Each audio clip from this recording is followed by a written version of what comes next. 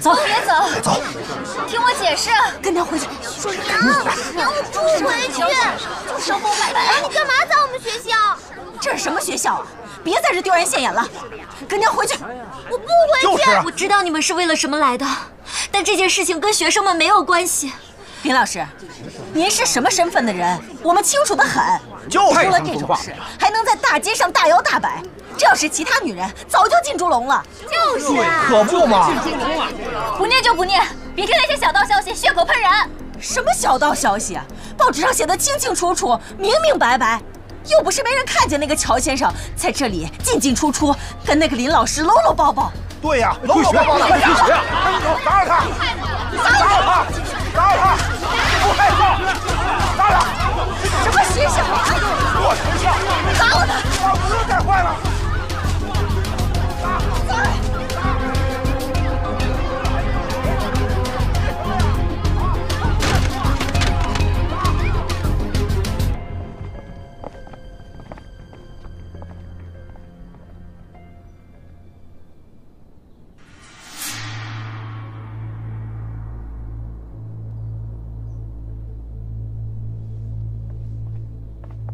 这小子溜还挺快。咱们一早就封锁了三嫂和乔江的消息，但现在外面还传得沸沸扬扬的，这分明就是提早设计好了的。副司令，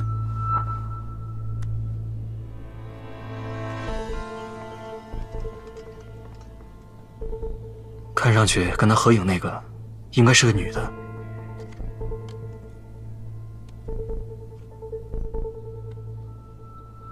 三哥，这是什么呀？这应该是个纪念处。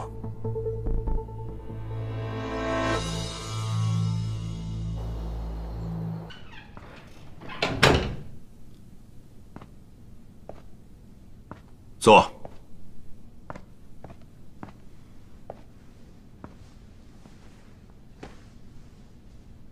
老三，知道吗？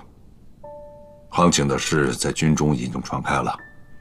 爹，我不该让您为我们的事操心。但是麻烦您，这事别怪杭景，他不用跟我多解释。杭景的人品我心里很清楚。可我跟你七姨也商量好了，啊，现在督军的事也过去了。如果你们两个之间真的没有什么感情的话，也没必要这么勉强下去，啊，爹。杭锦是我的妻子，是萧府的媳妇。我萧北辰这一辈子只有一个女人，就是林杭锦。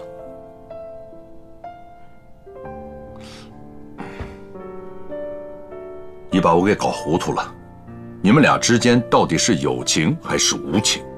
儿子这辈子认定他了。孩子，这样的感情你会很辛苦的。